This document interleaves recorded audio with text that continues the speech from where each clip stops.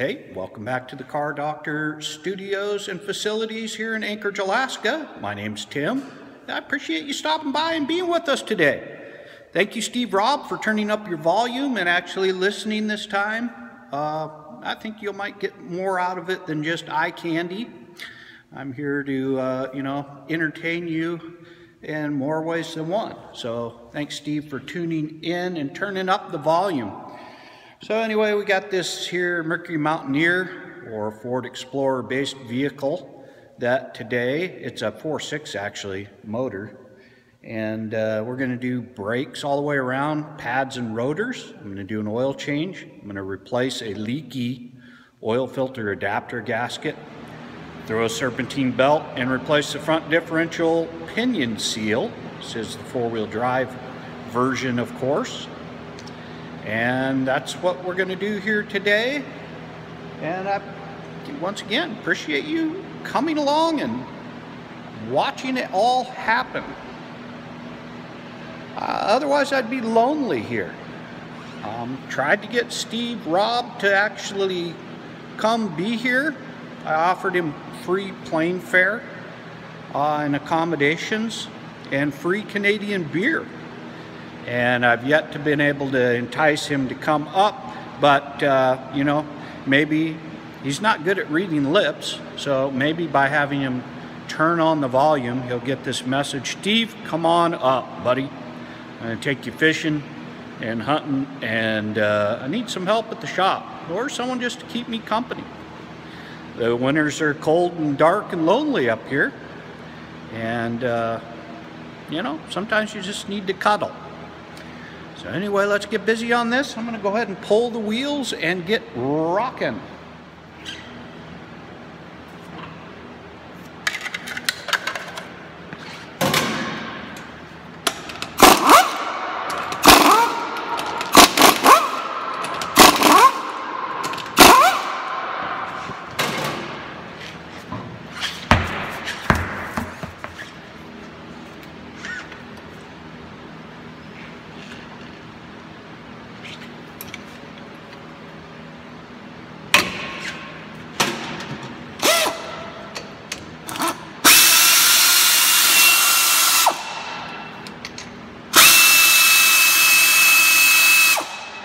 Once you remove the caliper mounting uh, bolts uh, on the sliders, and also I've kind of stuck a screwdriver in here and kind of depressed the pistons a little bit, but I'll still have to use a C-clamp and compress it the rest of the way once I remove it, but always use a something to support the caliper so it's not dangling by the brake hose.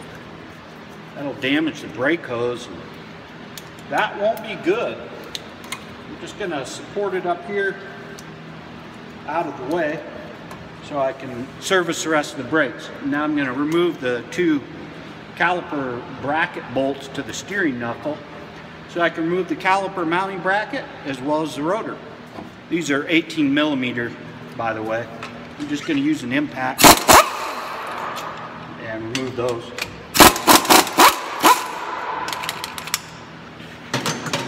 and remove the bracket.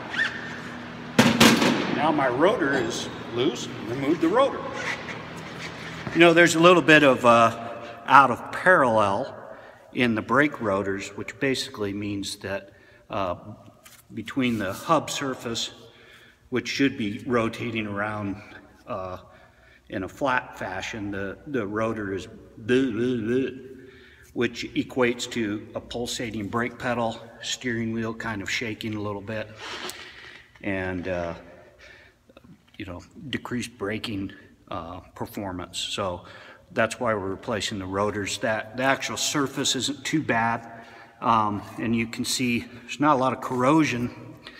So uh, in Alaska, we just we're super lucky that way. We don't have a lot of corrosion problems, at least for the most part and uh, but I'm replacing them uh, simply for the fact I could machine them on the brake lathe, but for cost uh, and and the fact that uh, as you get thinner, and if I machine off enough to take up the out of parallelism, I'm also reducing the thickness of the rotor, probably by enough that it's going to be more prone to warping because it, it can't dissipate heat as rapidly and, and just not having as much substance, it's going to be prone to warping again. And I don't want to see them back here. I want to get them to get another 100,000 miles out of these things. Probably not 100,000. In this case, maybe, maybe 60,000. Uh, with just how braking, uh, you know, road conditions are up here.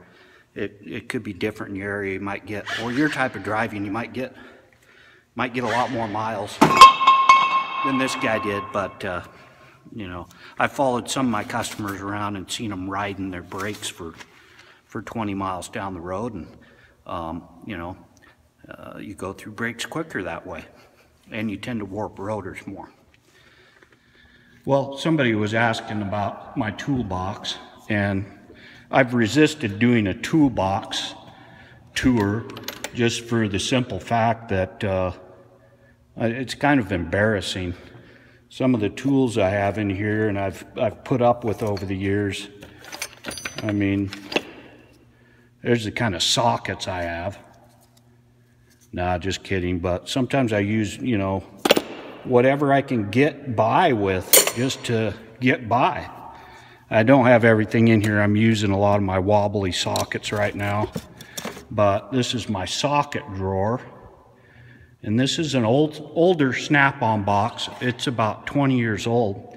And it doesn't have any of these door locks. So unless this is locked, these doors can just come open. So if you're ever pushing it around in the shop, um, this can be uh, a little dangerous. Um, because the doors tend to pop open and all your tools fall out.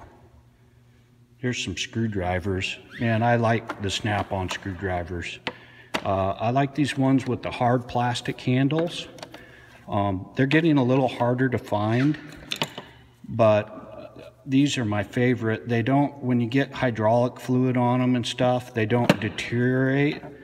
Some of the newer handles that kind of have a more grippy surface, uh, if you get certain uh, oils on here, they tend to deteriorate and get kind of messy. But uh, here's some old stuff. This we used to. These are carburetor adjusting tools. These were for the old Rochester Quadrajets and Dualjet two and four barrel carburetors that we always had in the shop we were doing the emissions testing up here, and it was a typical problematic carburetor that required servicing to get the carbon monoxide and hydrocarbon levels in check. Here's, you know, I, I mean, this is why I was reluctant to show my toolbox. It's just kind of a mess. I'm not always the most organized person. Here's my snap-on uh, super duper turbo air chisel. Here's a nice Ingersoll drill. Here's an angle drill. And I've got a couple of these, uh, what are they, 2131 T&D Ingersoll Rand impacts, the very vast, Some angle die grinders, and this one's pretty decent. This is a snap-on uh, high-speed die grinder, and uh, this thing's held up well. Even this piece of junk, you know, it's a $50 tool that lasts forever. And these IR uh, XP, or it's actually a 109 XPA, is my choice of 3 8 air ratchet and you've got the hammerhead which is a cool tool it actually impacts can even remove uh, remove flywheels with that thing when you have just not very much space here's my kind of miscellaneous hammers and plumbing tools even every master tech should have one of these you know, they work pretty good at pulling seals and stuff. It's amazing uh, what a claw hammer will do. Here's some pullers and slide hammers and axle bearing uh. I've got some three quarter inch drive. That's an old Craftsman set of three quarter stuff. There's a, a coil spring compressor. There's some old school coils. Um, got some stuff down here. I don't even know what's in here. There's, an, there's this big pop rivet. Uh, I don't go down here much. It, I have to bend over too much to go there. Some stuff in here, stuff. I don't even know what it is. Uh, you know, uh, video inspection device, a couple uh, torque wrenches, nice snap-on torque wrenches, power steering pullers, a couple uh, brake line flaring kits, some wrenches. I've got the snap-on combo wrenches. I've got the uh, snap-on ratcheting combo wrenches, metric and standard. Some oddball wrenches. Some various extensions and wonder how many people keep similar toolboxes this seems, uh, the way I've got things set up just seems, uh, it seems like it's uh, the way it should be. But that's just me. Other people do it completely different. Um, you know, stuff. It's again, you get up here and, and it's, this is miscellaneous things and stuff and just stuff. I, I don't I don't go in here much. I, there's there's some stuff up there, but uh, I don't go in there too much. Some uh, drivers there, some different various size drivers, fuel fuel line toothpaste. You gotta have toothpaste. Some stuff.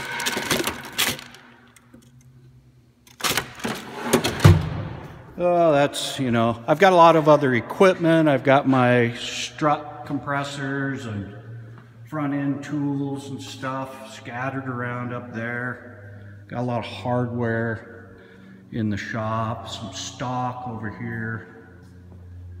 Keep you know, some oil and filters, different kinds of. Have you ever, I mean, if you want to to carry, if, if I wanted to carry every kind of oil and coolant and fluid that's required for most uh, common auto, uh, you know, foreign and domestic vehicles, I would, this, it would take up the whole shop. I almost said a bad word. But uh, there's so much stuff, so I just try to keep what's most common. Here's a project for a later date. It's been on the stand for a while. 460 Ford, big block power. I'm going to, with a 572, I'm gonna punch it out all the way and stroke it and go with that. I got a press just kind of a cheesy press. And I've got, you know, tire balancer and tire changer, a stock of aluminum and steel type wheel weights. Here's what I do with my used wheel weights. They go from this and they go to that. And these are what we use to go fishing. This ain't for bass fishing, boys and girls. No, sir.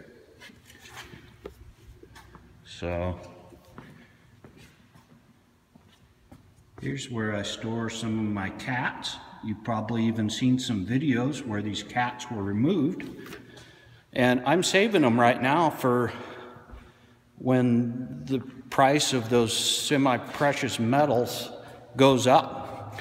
Right now, I'm not really locally, I don't have a good source for getting rid of those cats. So I'm just going to hold on to them for now and, uh, you know, beer money for down the road. Here's my alignment machine. It's the two camera John Bean Visualiner. Visualiner system. Keep it under a barbecue cover. So that's about it. I got a nice workbench here. Um, put some plate steel on. Uh, little took it to a break and had a nice uh, bend on the back and it lapped over the front. And I got the bench at Costco for like, you know, it was, it was like 150 bucks. And uh, uh, actually, a friend of mine helped bend the, the metal. And I, I hate to tell you what I paid for that. It was zero. Threw a vise on the end of it, which works out well. So I got a uh, Ammco brake lathe for turning drums and rotors. But I tell you what, it, I, I don't use it very much anymore. Um, like with this rig, you know, the cost of replacement rotors versus labor to turn them and uh, the cost benefit after that's done, said and done, I just go usually with new ones unless there's some other issue I'm trying to address. Keep some waste oil here. Got the, the drain that uses air pressure so I can pump into these barrels. And then uh, a friend of mine has an oil burning furnace. I just have gas furnaces, but a friend of mine uses it. So got a parts washer there. Got a uh, Miller 250 wire feed welder and I've got the spool gun so I can do aluminum with that. I just need to switch tanks and just a run of the mill oxyacetylene. Oxyacetylene great. Um, but again, I'm not in the rust belt. So guys in the rust belt are using this oxyacetylene deal, I think every day. I'd be lucky to crank mine up once a month just to get a bolt loose or something like that. But, well, anyway, that's, I think that about covered what I meant to cover. I'm gonna, on another video, I'm gonna show these rolling jacks, which are part of this alignment machine. And I'm gonna cover the, the use of these, but there, of course, when you drive on this rack with the car, position those under the axles and lift the vehicle off of the rack and allow for servicing the, uh, you know, suspension and wheels and brakes and whatnot. So, pretty cool deal. Well, that's the Car Doctor Studios. So, I do keep it clean and fairly organized. I don't have every tool uh, that Eric O has. And uh, I take a little bit of pride in just getting by with, with less because you can spend a fortune on tools and equipment. And sometimes if you just use a little bit of, uh, you know, brain power and backwoods engineering, you can find some things out that, uh, that all the tools and equipment in the world won't help you do. Not that there's anything wrong with having all the right tools for the job. Sometimes it's embarrassing to, to actually call yourself a technician and then fight through some of these things where if you spent 150 bucks on a tool that, you know, you take five minutes instead of five hours like it takes me but I'm a glutton for punishment. So, anyway, that's the Car Doctor Studios. Let's get back to this job. I got to get busy here, make money to buy more tools. So, I'm going to throw some rotors on. The new rotors. Today I'm going with the Wearever brake rotors. That's actually for the rear. Putting quality pads and rotors on.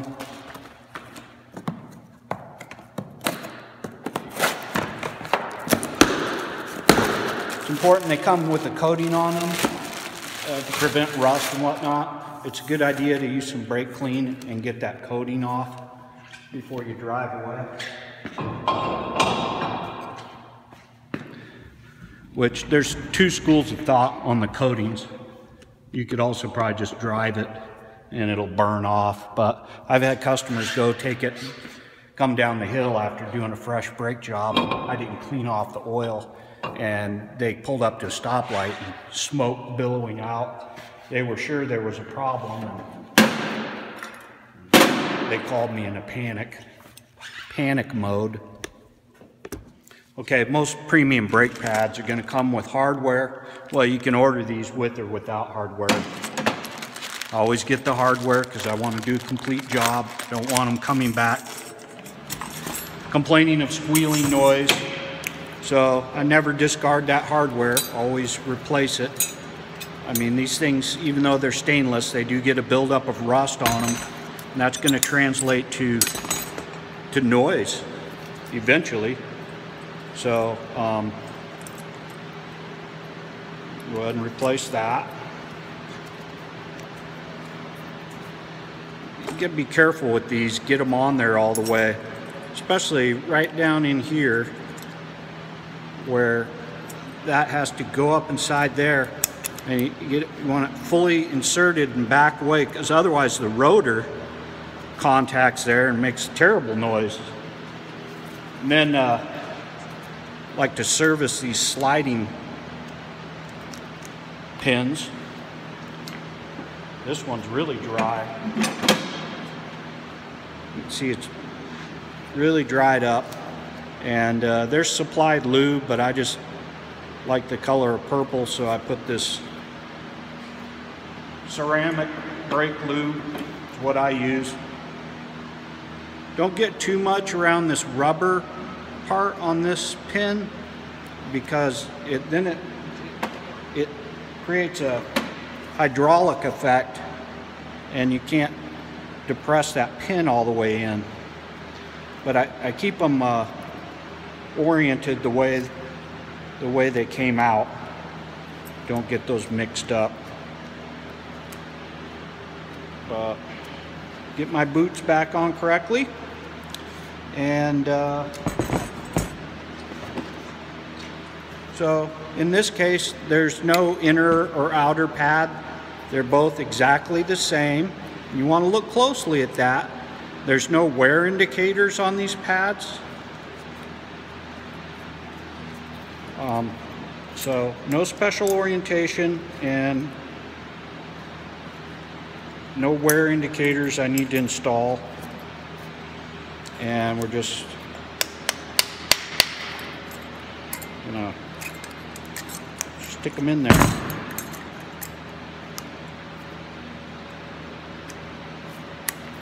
Ah, it's hard to do. It's usually easier to do this before you put them on the car too. Ah, not that it's easy this time.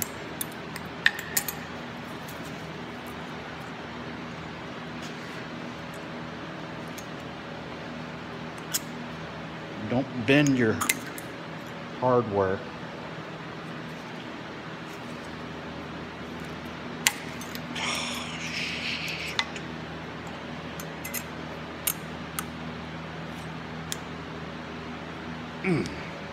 You have to cut and go to commercial here.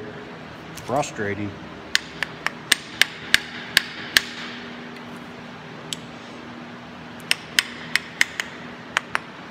Ah, yes. Outer pad.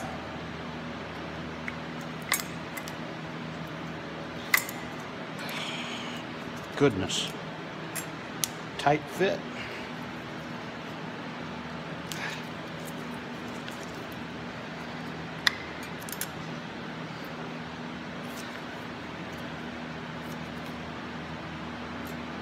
There we go.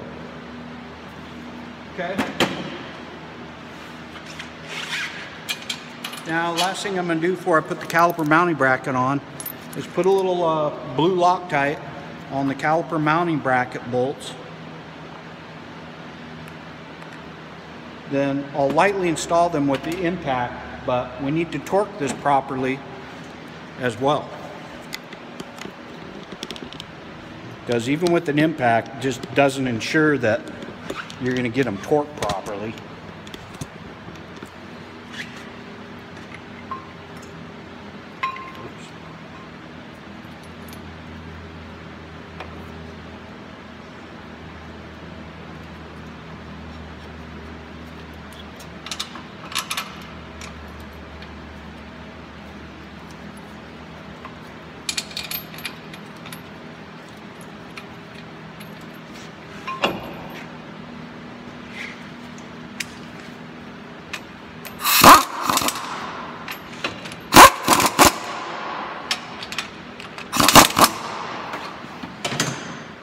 So the bracket to knuckle torque is 83 foot-pounds.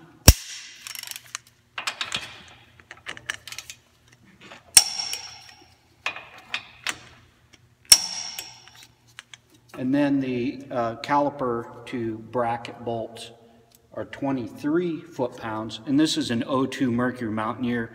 Your actual torque specifications may be different. I suggest always that you consult your repair manual for proper procedures and specifications. Car Doctor Studios cannot be responsible for improper repairs or lack of uh, common sense used when uh, conducting your repairs. Uh, improperly repaired brakes can create safety issues which could lead to a car accident or even death. Be careful out there and uh, use some common sense.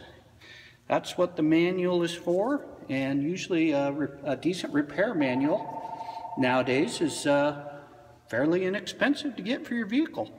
So if you want to do DIY repairs and save some money, it's worth investing 20 bucks in a, a manual of some sort. So now I'm going to compress the brake caliper.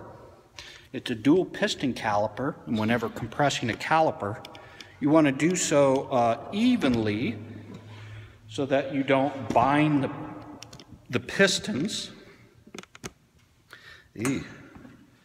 And you don't want to drop, whoa! don't want to drop your camera or your torque wrench while doing so. Oh boy. Okay. Uh-oh, bye-bye.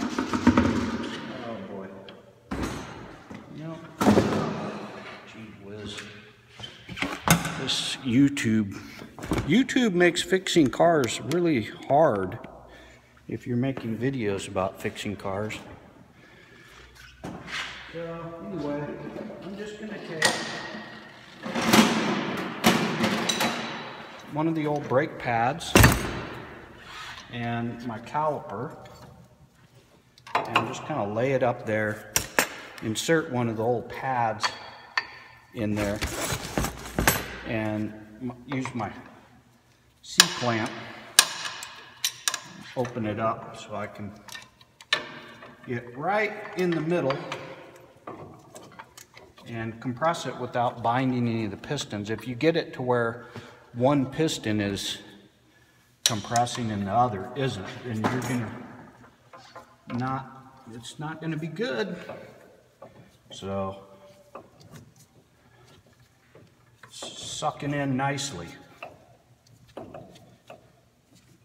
Okay, we've got her fully compressed. We're ready for reinstallation. Want to make sure that your brake line is not twisted. If you have a little pretzel, um, that's not good, and you don't want that. Pretzels are bad in this case.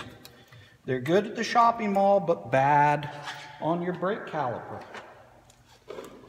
Again, I'm going to take some blue Loctite and add a little bit to the caliper uh, bolts to the bracket. And like I said, in this case, the spec was about 23 foot-pounds. That seems like a lot. But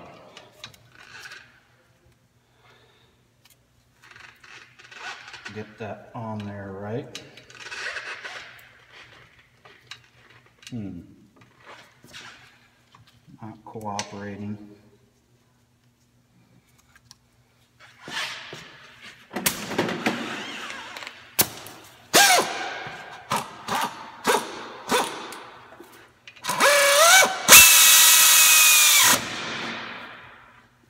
And torque it to 23 foot-pounds.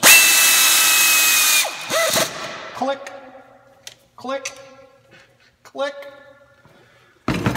All right, just double check my work. And again, I'm gonna clean this off front and back with brake clean. You can do that before you even put the rotor on. Uh, and then make sure all my ABS wirings run properly, not gonna rub against something. And we'll move on to the other side. And then I'll, I think we'll revisit this on the rear. And uh, I'll go through one of the rears with you. But I think you get the idea here. And, uh, and then we'll wrap this puppy up.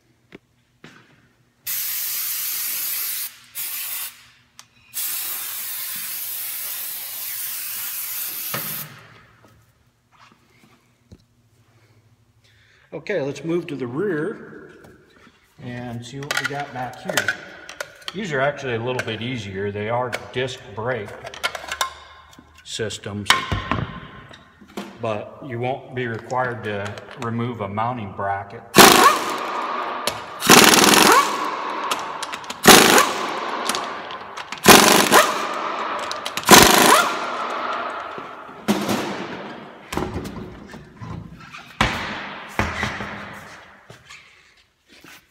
Try to compress the caliper a little bit. Oh yeah, got it completely compressed.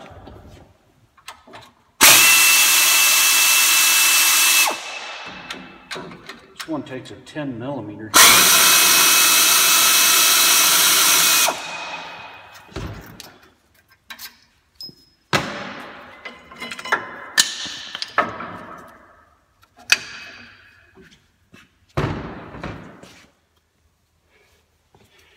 Here's another thing uh, you may run into.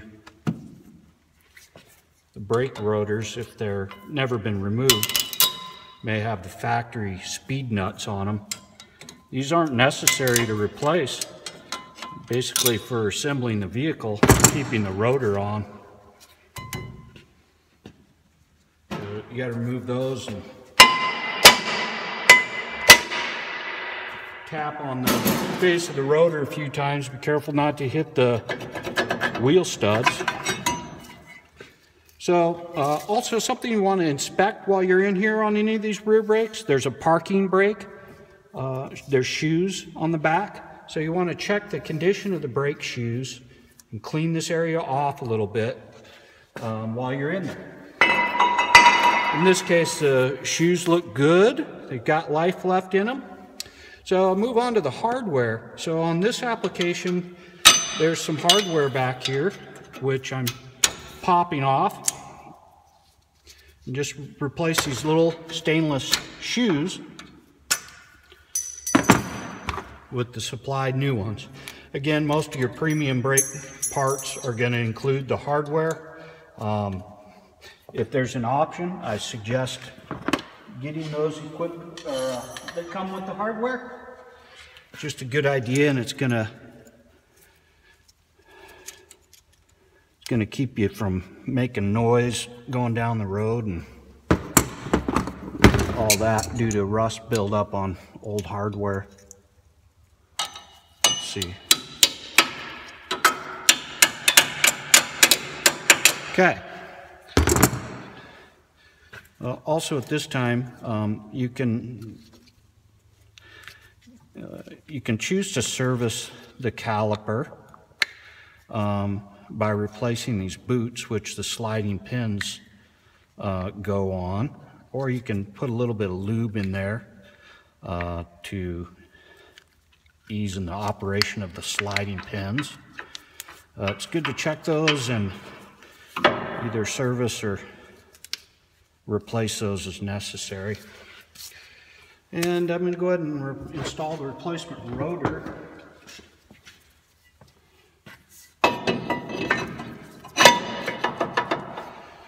Okay, so these pads are going to be an inner and outer pad These are both the inner pads, but you can see the difference here um, depending on if it's the right or left side. So just by comparing the inner pad that came off of the car, I can tell that this is the match for the inner pad on this side. The little hook uh, orients towards that side. So I'm pushing the inner pad on. Now the outer pad matches that. So I'm installing that on the caliper as well. And making sure my little pins seat properly into the caliper. And there's no gap and it's fully seated on there. So when installing these, you'll want to put the notch side in first and engage that into the upper portion of the bracket like so. Like so. So once again, I'm going to put apply a small amount of blue Loctite to the caliper mounting bolts. I'm going to install those and torque them properly. So once I get that done, we will move on to the oil filter adapter, which we're going to service and change the oil and serpentine belt. But this thing's going along pretty smooth. It's actually a pretty quick job. And uh, all these things pretty common repairs. You know, don't forget to check your brake hoses and brake lines while you're in there. If you're in an area where you're subject to corrosion, check your brake lines for rust all along the frame rail. And also check your brake hoses, the rubber hoses, the flexible hoses that come off the frame, the steel line, and then lead over to the caliper. You want to make sure those don't have any cracks at all in them. And uh, if they do, that you're servicing those as well at the same time. You don't want sudden brake failure. You don't need your brakes uh, when you're just, you know, driving around. You don't really need them until you really need them. When, uh, you know, a moose jumps out in front of you on the highway, you want to be able to slam on those brakes and have them work as they're designed. So don't forget that part.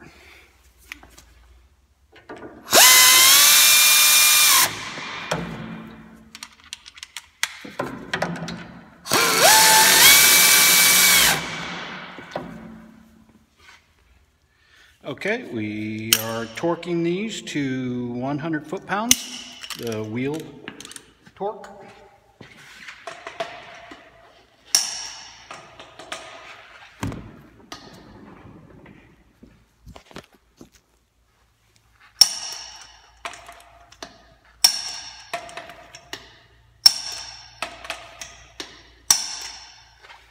All right, something I should remind you of, every time you do a brake job like this, where you've compressed the caliper pistons.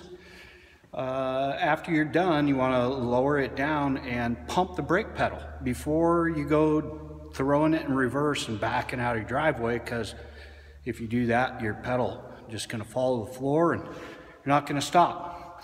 Uh, a couple things to think of, you know, probably at this point, definitely a higher mileage rig.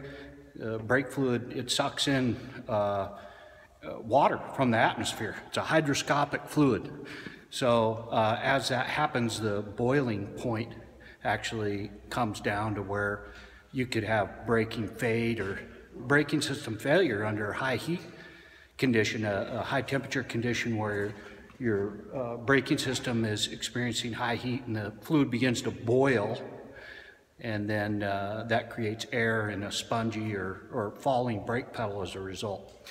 So uh, also when you're compressing a caliper piston, you're for forcing all that fluid that sits behind it back up in the system. Well, if there's normal uh, wear stuff from the caliper seals and, and the sludge that kind of builds up behind the piston, by compressing that caliper, you're forcing that back up into the system, which uh, could be problematic. So it's recommended that uh, while you do these services, uh, actually compressing the pistons, you should open up the bleeder screw, compress the piston, and then when you're done, thoroughly flush and bleed the system. However, it's uh, notable to mention that the uh, this has an ABS system that's rather difficult to bleed, short of using a scan tool in the recommended bleeding procedure.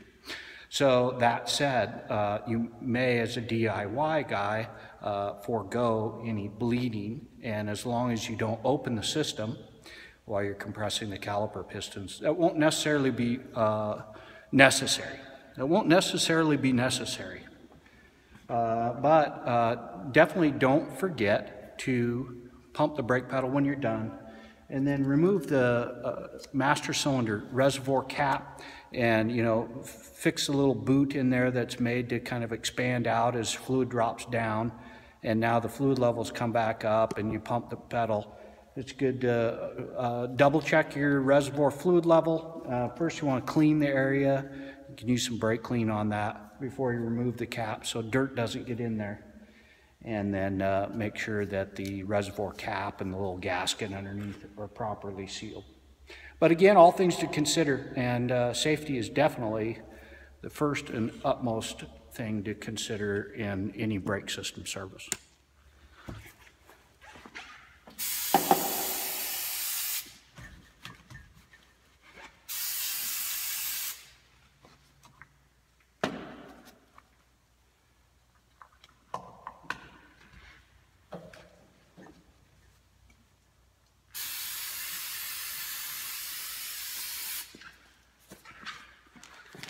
Okay, now we're going to move on to replacing the oil filter adapter gasket. Common oil leakage point on this vehicle. Uh, the, the 4.0s, uh, even the V8s and the 4.6 here uh, can leak around the oil filter adapter, which is basically the, the part that bolts to the engine block face and then has a little angle and then you screw your oil filter onto the end of that. And basically you'll see the leakage here uh, emanating from below the oil filter location as a telltale sign, uh, which in some cases this, this uh, leakage here could be from this, the oil filter being loose, which there is a slightly loose oil filter and, and leaking from the gasket there. But then if you come around to this side, well, that's going to be really hard to see but um, you didn't have to take my word for it. Let's see how, see if I can get up in there. But anyway, you can tell it's leaking. It is leaking. Trust me on this one. Yeah, it's pretty hard to see. I'll show you the adapter once I get it removed. But uh, what I'm going to do first is drain the engine oil and remove the filter, which I'm going to have to do anyway to access the oil filter adapter gasket, um, which, which I have here. That's the adapter gasket. And just drain the oil. Maybe.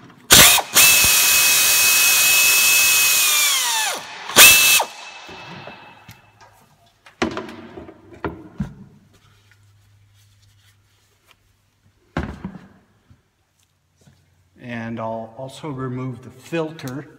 It's kind of a tricky filter to get to.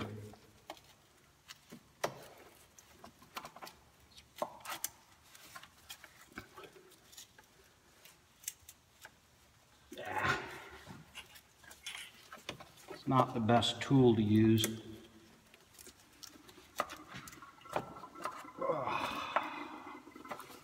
Oh my goodness.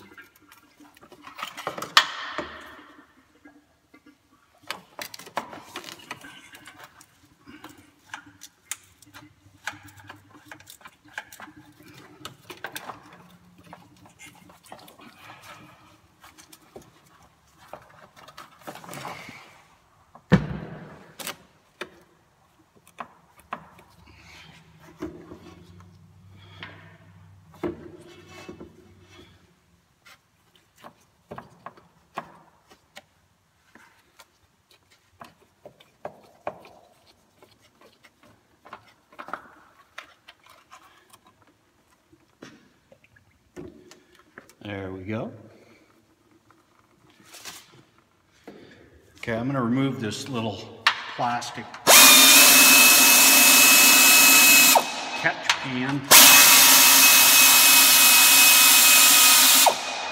Give me more room to access. Maybe I'm gonna remove it.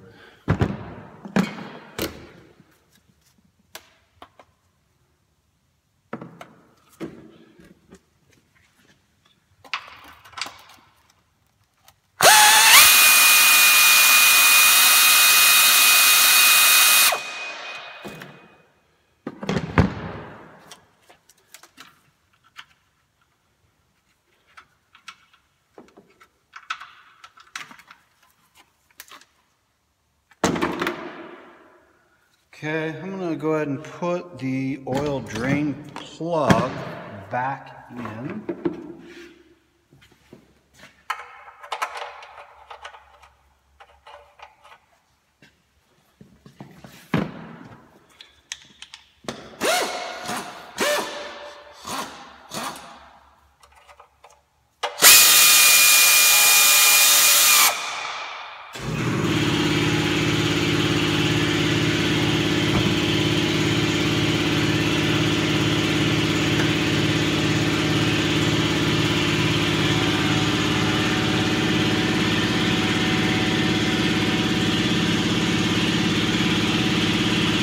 Okay.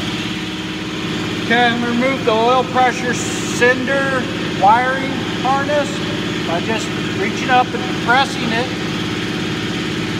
Hopefully. Maybe not.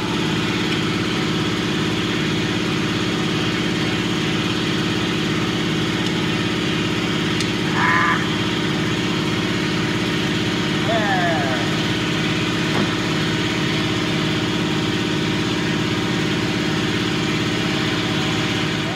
to some coolant since the coolant runs through the oil filter adapter. I actually have to remove the lower hose off of the off the adapter housing. So I'm gonna drain the coolant into a bucket as best I can. Now I'm to lower the vehicle a bit. Actually, I got to take the left front tire back off so I can get that connection of the lower hose to the adapter um, through the wheel well area. So create a little extra work for myself, not a big deal. Maybe I can get to it without pulling the wheel back off.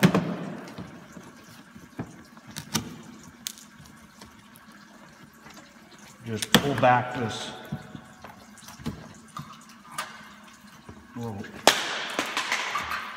rubber. Pull back the rubber.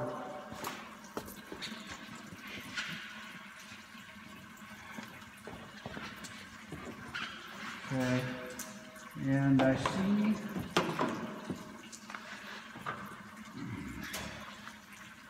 I see the connection at the hose. Get my hose clamp pliers.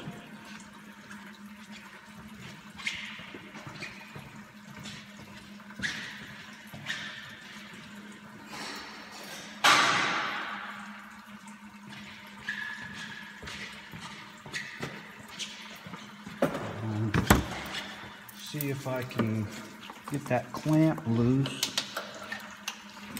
Oh boy.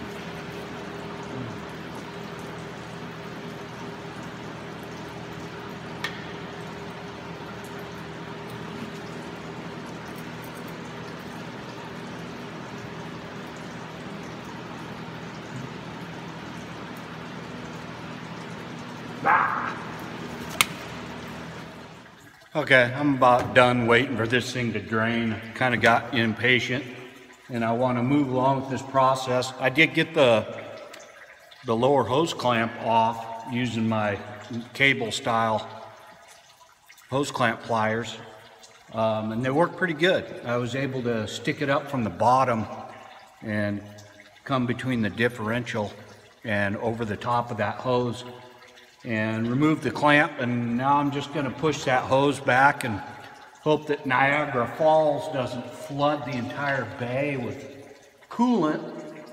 Ugh. But I'm not going to wait all day and it's probably going to spray everywhere anyway, even if I drain the coolant the best I can. Oh boy, it's going to get messy.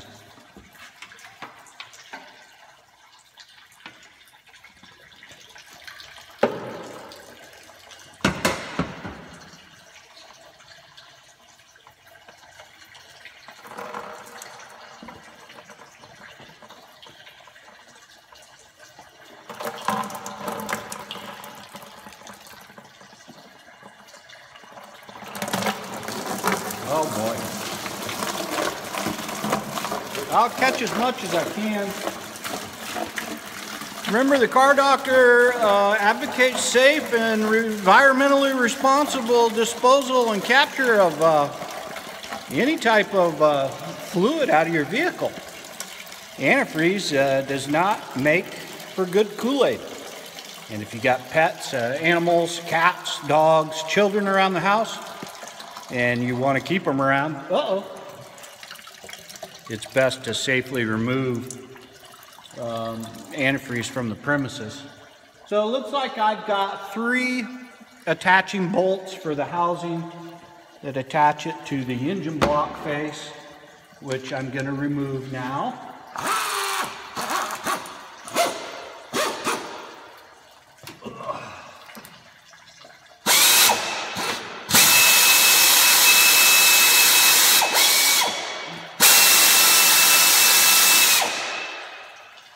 There's one, the bottom one.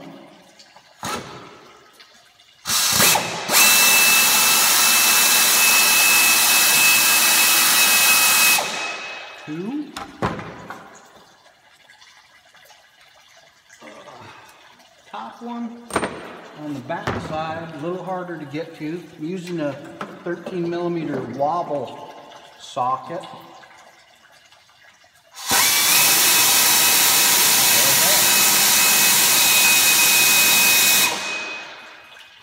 There we go, baby.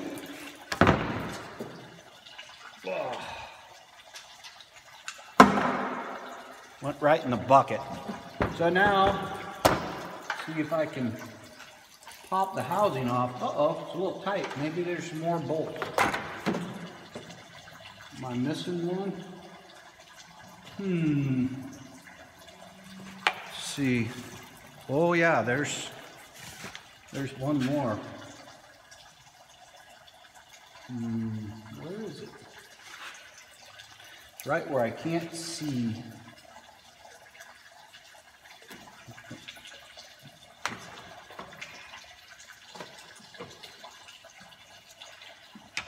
Let's see here.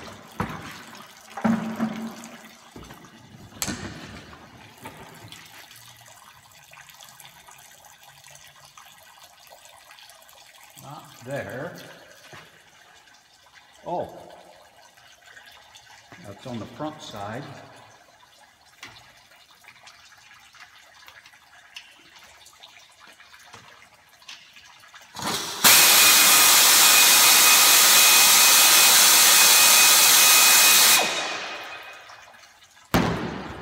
And voila.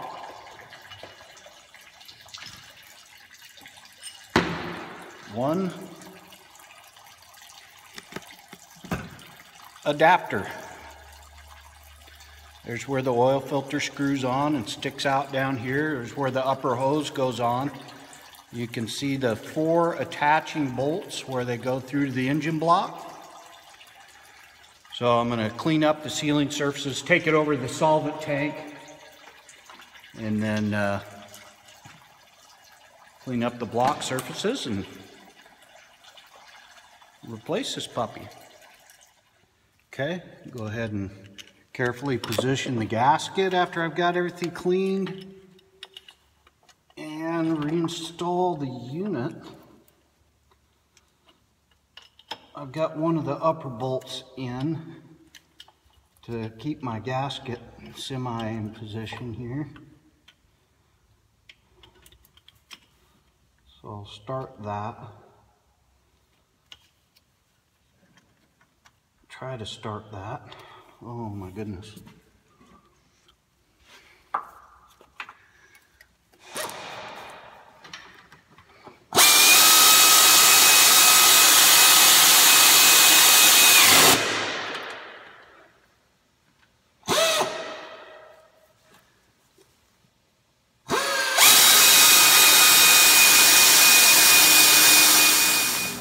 Now I just need to put a little bit of oil on the filter gasket so that it's lubed. You don't want it, to, it'll just stick on there if you don't.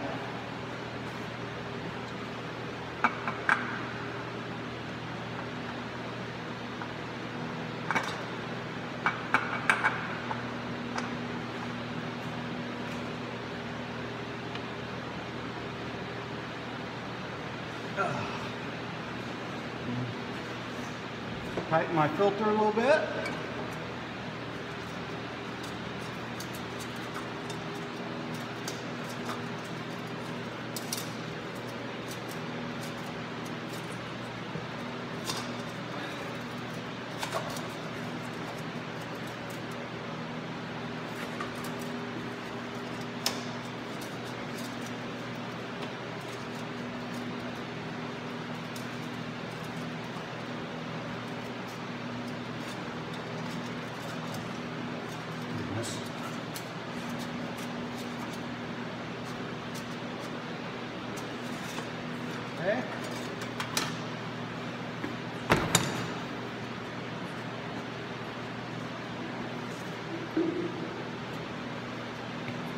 I'm going to clean my plastic catch pan before I put it back on.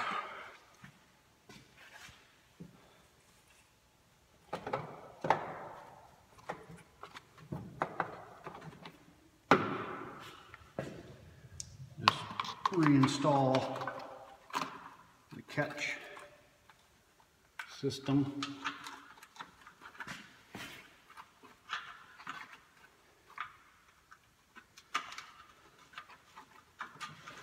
Which the catch pan is just a little plastic pan that's meant to catch the oil when you're servicing the oil filter so that it doesn't drain down in the, the cross member up front here and just drizzle out for a week after the oil change.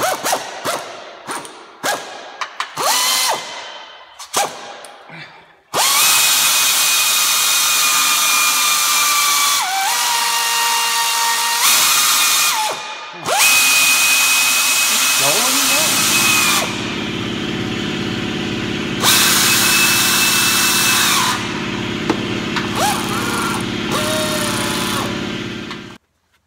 Now I'm gonna just lower it down a little bit, secure my cover, a little splash shield back over on the left inner fender well. And I've, I've kind of cleaned up the area here.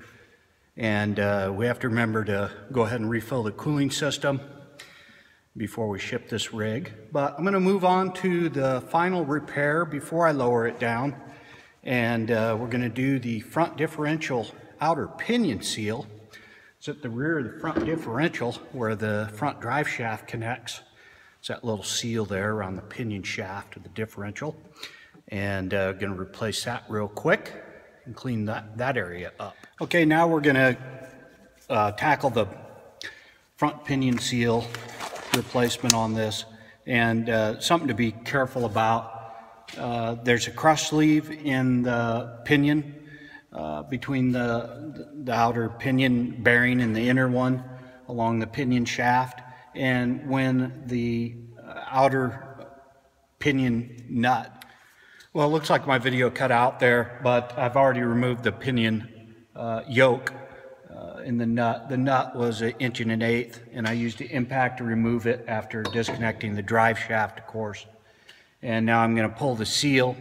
And anyway, the point I was trying to make is that when you're torquing the outer pinion nut, there's a crush sleeve inside, and you want to go with a preload, uh, a bearing preload. Uh, so basically using an inch pound torque wrench to uh, adjust the preload and the tightness of that nut. If you over tighten it, you'll crush that crush sleeve and uh, usually, you know, suck your pinion depth out wrong, and then that's going to create premature failure of your uh, pinion gears, which you do not want. So there's a lot of feel involved uh, in just using an impact um, and then working the nut back, uh, the, the, the yoke back and forth which is a method I'm going to use. I don't advocate doing that, and you could blow up your whole front end if you do it. But um, I've had great success just going by feel, and I'm sure a lot of people will criticize that. But uh, you know, really, you can't get proper preload with the torque value with with these wheels on and the rotors turning around and all that. You really need to disconnect the drive shafts uh, to get that value even close. And I can do a better job by feel and that's just the way it is. And that's how it's going to go. So I'm going to pop the seal out. Ah, hopefully, without hurting myself.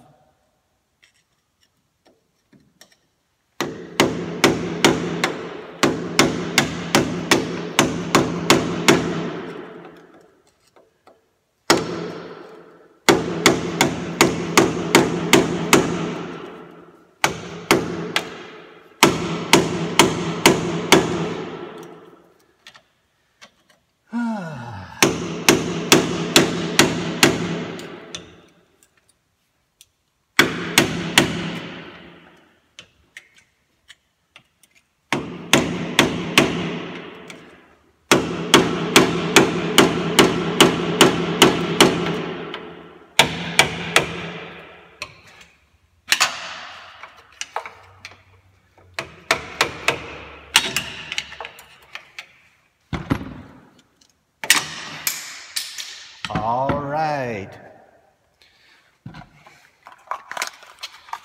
Go ahead and uh, get the replacement seal ready to install.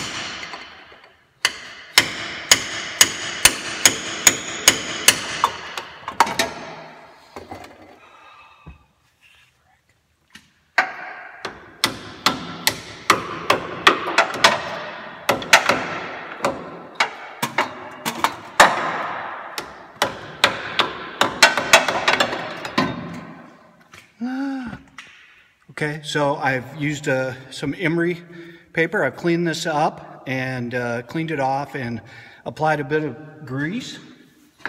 And we're just going to reinstall it.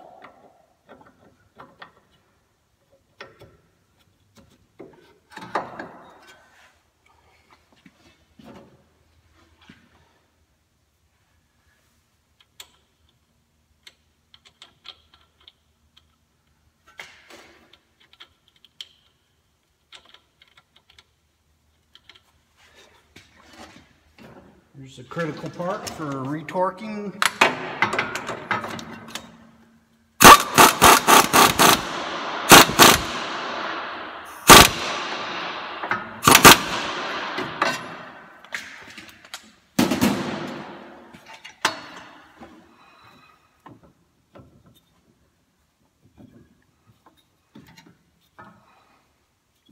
You know what? Feels good. I'm gonna go with that.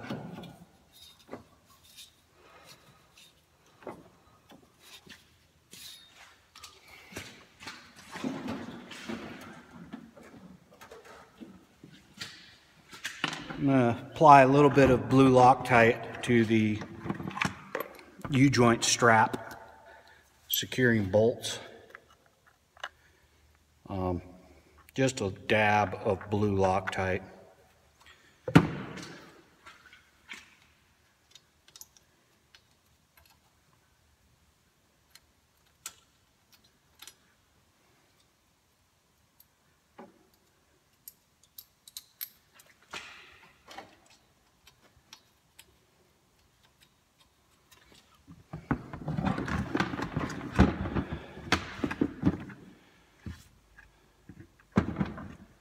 And stick those back in.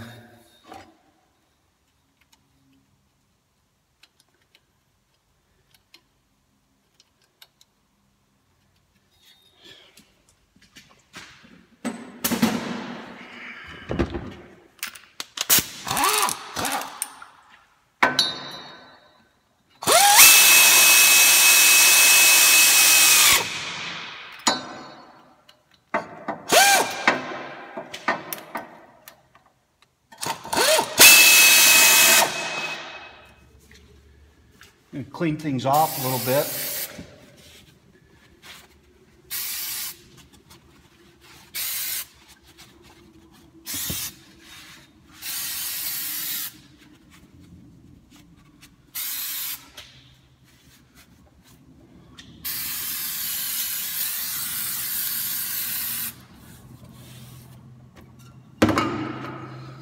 And I'm going to go ahead and uh, refill definitely check and top off the front diff fluid level. And then, uh, like I said before, I'm going to remember to uh, top off the cooling system and I'm going to finish the oil change up top by filling, you know, topping off the oil and checking all the rest of the fluids. And then we're going to have this thing wrapped up and uh, it went pretty good.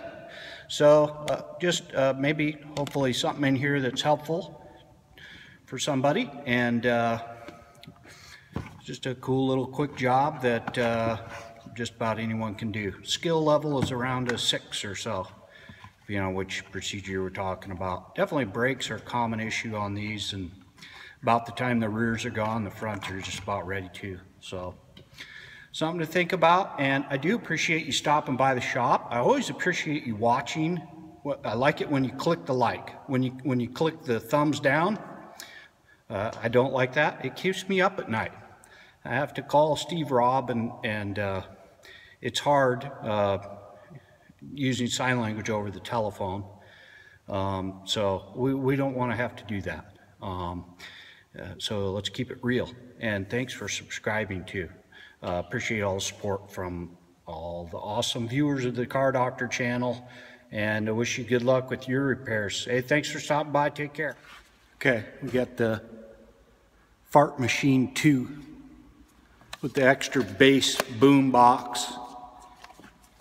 And uh, let's call the parts store and mess with them a little bit.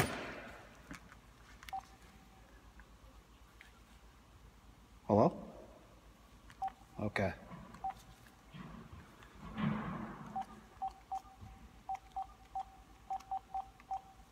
Star six seven. Hi, Uh, hey. Uh, do you do you sell mufflers? I can get some mufflers. Uh, what, what is it for? Well, my wife said I need a muffler. Um, it's not really for my car. Um, what? You, you, she lately she's just she's been saying. Oh, excuse me. Um, she says I need a muffler. Uh, oh, uh, yeah, I, I mean, uh, usually after I eat like burritos or something like that, uh, she says, you know, you need to quiet that, quiet that down. Do, do you have something like a universal fit that would help? Is this a joke? Uh, she says it's no joking matter. Um, she says I'm full of it. And, uh, well, I'm just wondering, it, something that would just kind of, it, it, you know, the sound, if it would just help with the sound, the, the, the stink we can deal with. There's air fresheners and, and whatnot for that. Okay, I have to go. You have to what? Check the, hello?